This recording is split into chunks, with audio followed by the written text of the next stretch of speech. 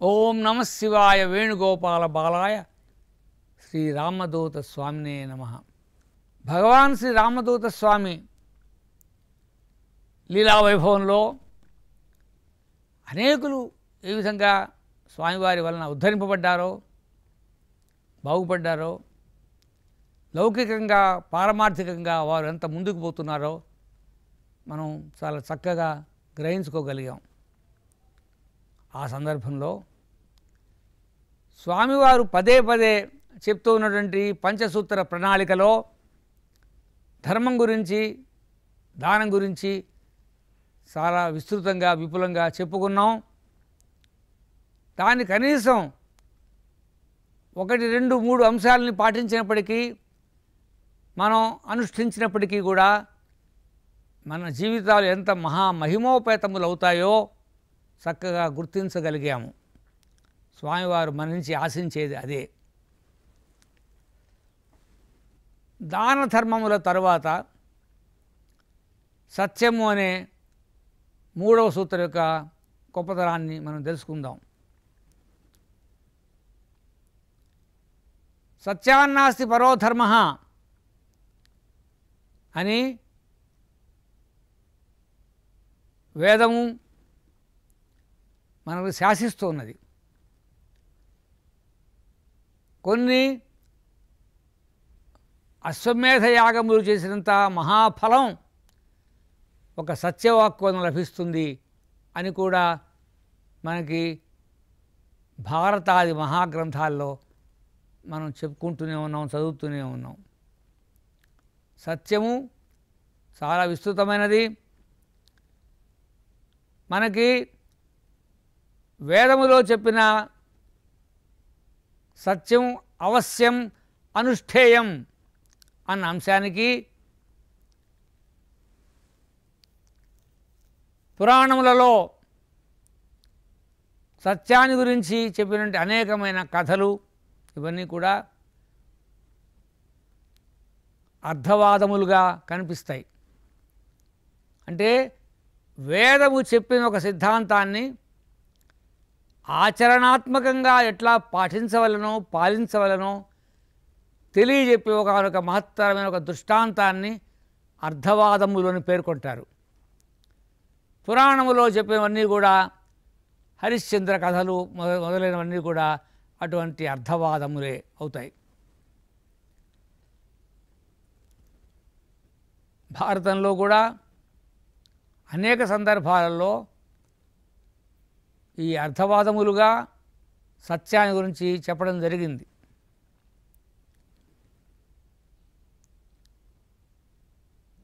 రాక్షసుల యొక్క కథలు మనం వింటున్నప్పటికీ కూడా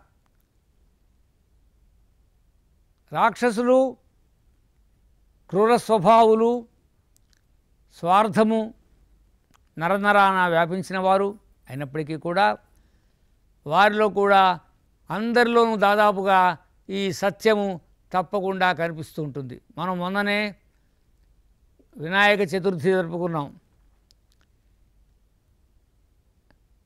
పరమశివుణ్ణి తపస్సుతో మెప్పించి తన క- కడుపులోనే దాచుకున్నటువంటి రాక్షసుడు గజాసురుడు.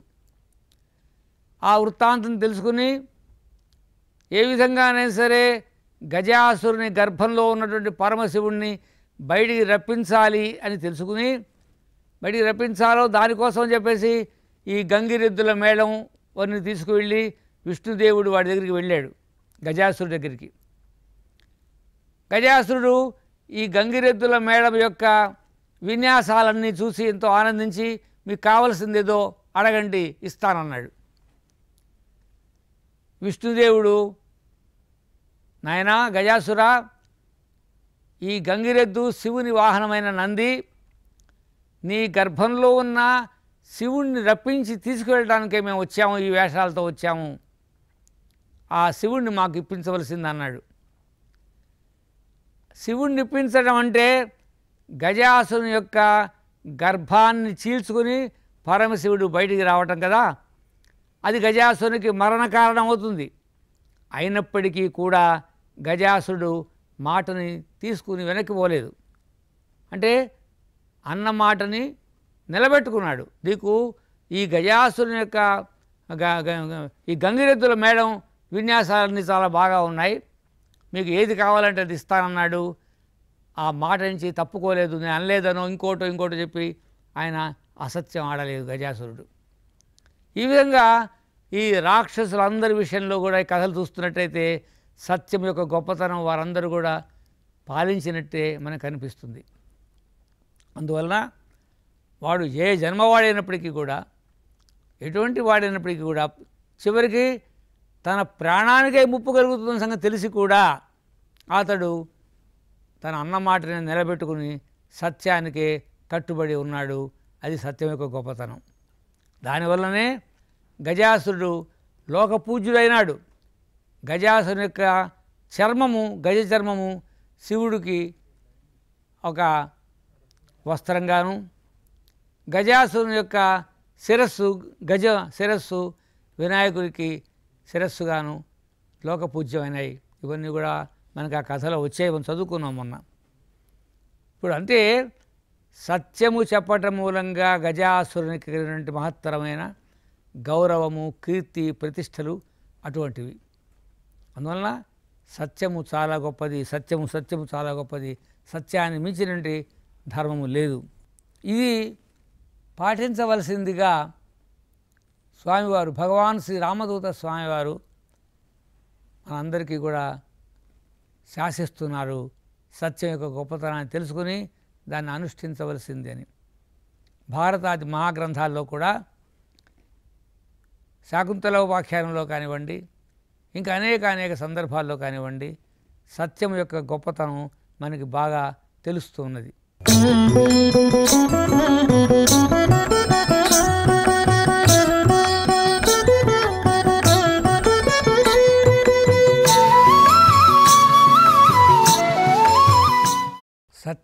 ధర్మం విషయంలో భారతం సత్యధర్మాలను ఎవరైతే చక్కగా పాలిస్తారో పాటిస్తారో అనుష్ఠానం చేస్తారో వారికి కలిగే ఫలితం వారిని రక్షించి వారి వాటిని సత్యాన్ని ధర్మాన్ని అనుష్ఠించటంలో వచ్చే లోపాలు ఏదైనా ఉంటే వాటిని సరిదిద్ది చక్కదిద్ది వాటిని కాపాడవలసిన బాధ్యత ఉన్నవారు కూడా కాపాడకుండా కనుక నిర్లక్ష్యం చేసినట్లయితే వారికి కలిగే అపకారం చాలా గొప్పగా ఉంటుంది. కానీ వాటిని రక్షించడానికి భగవంతుడు ఎప్పుడూ ముందు ఉంటాడు అని చెప్పిన పద్యం మనందరికీ బాగా ప్రసిద్ధమే.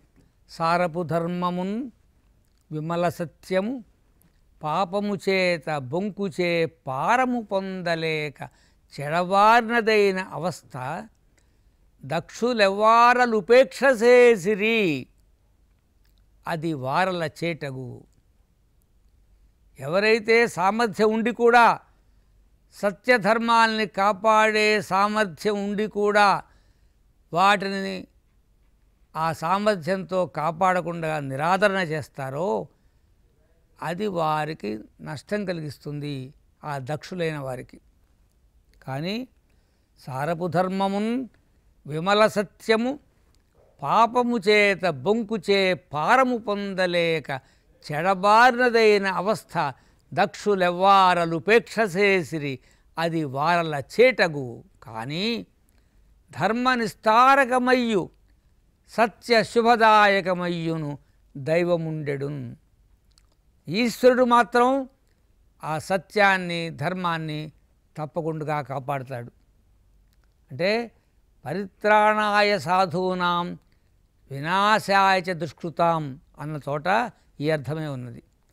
ఎవరు ఎప్పుడైతే ధర్మానికి గ్లాని కలుగుతుందో సాధువులకు రక్షణ కరువవుతుందో అప్పుడు ఆ సాధు రక్షణ కోసం సత్యధర్మముల రక్షణ కోసం భగవంతుడు నేను అప్పుడప్పుడు ఆయా యుగములలో ఆయా సందర్భాన్ని బట్టి నేను అవతరిస్తూనే ఉంటాను అని చెప్పుకున్నాడు. యదా యదాహి ధర్మస్య గ్లానిర్భవతి భారత అభ్యుత్నం అధర్మస్య తదాత్మానం సుజామ్యహం అని చెప్పిన ఇది అర్థం. దాన్ని బట్టి సత్యం యొక్క ధర్మం యొక్క గొప్పతనం ఎంత గొప్ప ఎంత విశేషంగా ఉందో దాన్ని పాలించకపోయినట్లయితే వాటిని కాపాడలేకపోయినట్లయితే కాపాడలేని వాళ్ళకే మూడుతుంది కానీ సత్యధర్మాలు దెబ్బతినవు. వాటిని కాపాడటానికి నేను ఉండనే ఉంటాను అని స్వామివారి యొక్క ప్రతిజ్ఞ. అది దాన్ని బట్టి ఈ సత్యం యొక్క ధర్మం యొక్క విశేషమని తెలుస్తుంది. నుతజలపూరితంబులకు నూతులు నూరిటి కంటే సుమృత వ్రత శకుంతల దుష్యంతుతో అన్నది. ఆయన అప్పటికే అబద్ధాలు ఆడాడు. ఆ అబద్ధాలు ఆడిన వాడిని పట్టుకుని సుమృత వ్రత అన్నది. అంటే సత్యం చెప్పటమే వ్రతముగా కలిగినవాడా అని అద్భుతంగా కావ్యం కాబట్టి భారతం. కేవలం పురాణమే కాదది. కావ్యధర్మం కూడా ఉంది కాబట్టి ఆ చెప్పడంలో ఔచిత్యం కోసం చమత్కారం కోసం ఆ దుష్యంతుడిని ఎత్తిపడుస్తున్నది సుమృత వ్రత. ఒక బావి మేలు. నూతులు నూరిటి కంటే ఒక్క బావి మేలు. మరి బావులు నూరిటి కంటే సత్క్రతువది మేలు. తత్క్రతు శతంబున కంటే సుతుండు మేలు. పున్నాంనో నరకాత్రాయత ఇది పుత్ర అన్నారుగా. అందుకని ఊర్ధ్వగతి చెందటానికి పితరులకు ఊర్ధ్వగతి కలిగించటానికి ఆ వంశం వృద్ధి పొందటానికి ఒక పుత్రుడు ఉండాలి. పుత్రుడి మూలంగా ఊర్ధ్వలోకాలు జరుగుతాయి. ఆ పున్నామం నుంచి వాడు కాపాడబడతారని మనకి శాస్త్రం చెబుతున్నది కాబట్టి పుత్రోదయం కూడా చాలా అవసరం. అటువంటి పుత్రులు వంద మంది కంటే కూడా ఒక సూనృత వాక్యము మేలు అని ఈ విధంగా భారతం చెబుతున్నది. ఇంకా ఏం చెప్పింది?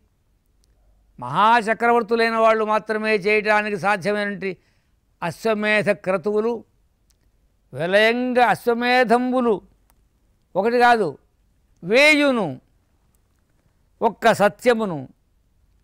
ఇరుగడలందుల నిడి తూపగా సత్యము వలన నా ములుసూపు గౌరవంబు పేర్మిన్ గౌరవం అంటే గురుత్వం బరువు అని అర్థం కూడా ఉంది.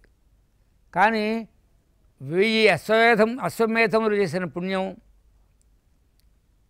ఒక్క సునృత వాక్యం యొక్క పుణ్యం. త్రాసులో రెండు వైపులా రెండు పెట్టుకొని చూస్తే బరువు దేని వైపు ఉంది?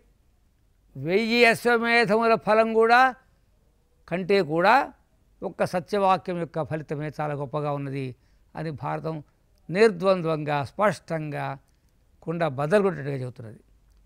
కాబట్టి సత్యవాక్యం యొక్క మహిమ అంత గొప్పది. కాబట్టి ఆ సత్యాన్నే పాలించాలి. సత్యం అంటే ఏది?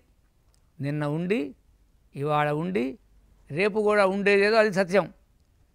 ఇక్కడ ఒక్కటి గమనించాలండి. సత్యం వేరు వాస్తవం వేరు. వాస్తవము వస్తువులకు సంబంధించింది. వస్తువు అంటే అశాశ్వతం కదా. వస్తువుకి ఒక ఉనికి ఉన్నది. కానీ అది ఒక పరిమితికి లోబడింది. వస్తువు యొక్క ఉనికి పరిమితికి సంబంధించింది. అపరిమితమైనది కాదు. కానీ సత్యము అపరిమితమైనది. సత్యానికి పరిమితులు లేవు. కాల పరిమితి దేశ పరిమితి ఉండవు. అట్లా లేనిదే సత్యం. అందువల్లనే నిన్న ఉండి ఇవాళ ఉండి రేపు కూడా ఉండేదేదో సత్యం. సత్యం అంటే పరమేశ్వరుడే. సత్యమే ఈశ్వరుడు. సత్యమే పరబ్రహ్మము. దానికి సంబంధించింది సత్యము. అందువల్ల సత్యవాక్కు యొక్క గొప్పతనం ఎటువంటిదో చెప్పడానికి వీల్లేదు. కాబట్టి ధర్మము దానము సత్యము ఇక రెండు తర్వాత వస్తాయి. మిగతా మనం తర్వాత చెప్పుకుందాం. ఇది భగవాన్ శ్రీ రామదూత స్వామి వారు పరివ్రాజక సార్వభౌములు పరివ్రాజక సమ్రాట్టు అవధూత చక్రవర్తి అవధూత పథ నిర్దేశకుడు మనకి ఈ విధంగా ఆయన చెప్తున్నారు దాన్ని మనం తప్పనిసరిగా పాలించవలసింది పాలించటం మనని మనం ఉద్ధరించుకోవటం మనని మనం కాపాడుకోవటం. ఎనభై నాలుగు లక్షల జీవరాశుల్లో ఒక్క మానవుడికి మాత్రమే అనుకూలంగా ఉండి ఇతరులకు అనుకూలంగా లేనటువంటి ఈ విషయాన్ని మానవుడు చాలా అదృష్టవంతుడు కాబట్టి ధన్యజీవి కాబట్టి ఎందుకు మానవుడుగా పుట్టటమే. ఆ మానవుడుగా పుట్టి సత్యశీలుడే ఉన్నట్లయితే వాడి యొక్క అపరిమితమైన ధన్యత్వానికి ఇంత చెప్పడానికి వీల్లేదు కదా. దాన్ని మనం పాటించవలసిందిగా స్వామివారు ఒక శాసనం. కాబట్టి ఆయన క్వింటెసెన్స్ ఆఫ్ హిస్ ఫిలాసఫీ. స్వామివారు చెప్పినటువంటి నిరంతరము చెప్పే ఆయన తత్వంలో మనందరం కూడా పాటించవలసి పాటించి ఏ విధంగా ముందుకు పోవటానికి అవకాశం ఉంటుందో అవకాశాన్ని వదులుకోకుండా ఉండటానికి మనం వీటిని పాటించమని నిరంతరం స్వామివారు చెప్తున్నారు. అందులో సత్యం యొక్క గొప్పతనం ఇది. ఓం శ్రీ రామదూత స్వామినే నమ. శుభం శుభం శుభం.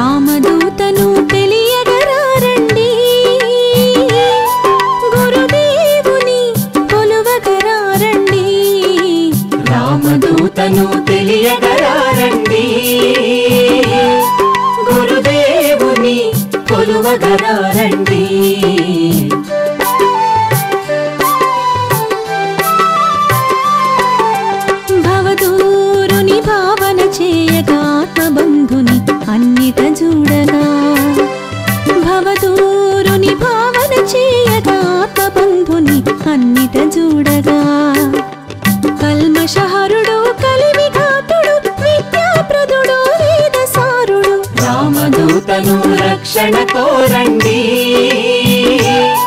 గురుదేవుని కొలువగరారండి రామదూతను రక్షణ కోరండి.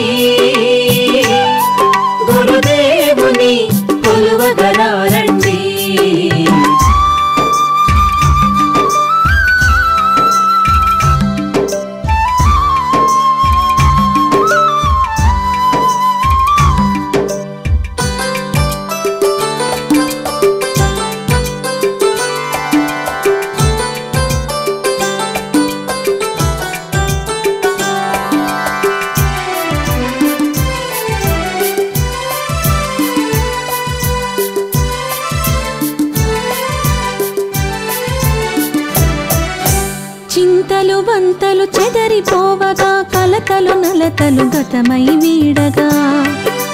చింతలు వంతలు చెదరిపోవగా కలతలు నలతలు గతమై వీడగా.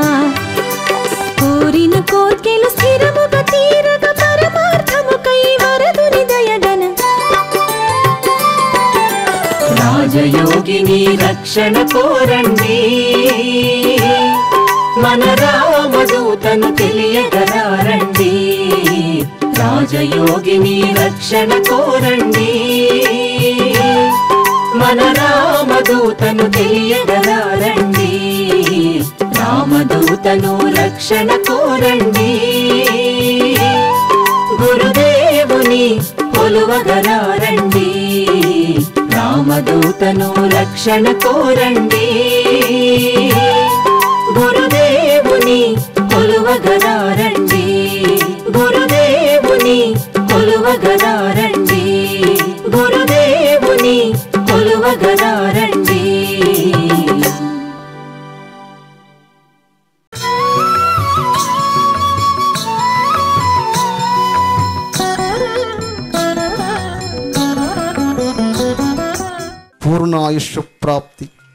పూర్ణ ఆరోగ్య ప్రాప్తి మనోవంశాపల సిద్ధి యోగ ప్రాప్తి మీ సంతానము భాగ్యవంతులై మీ కుటుంబంలో శాశ్వతముగా లక్ష్మి నిలిచి అపజయములు లేక అపశృతులు లేక భాగ్యవంతులై ధర్మ నిర్మితులై సత్యవాక్ పరిపాలకులై సమస్త జనానీక రక్షణకులై ప్రతి మనిషి త్యాగంగా వీరుడుగా మారి ప్రతి గృహిణి వీర పతివ్రతగా శిరోమణిగా నిలిచి దేశాన్ని ప్రధానమైన స్థానంలో నడిపిస్తూ సస్యశ్యామంగా అఖండ విజయవంతులై వర్ధిల్లుగాక. శుభం.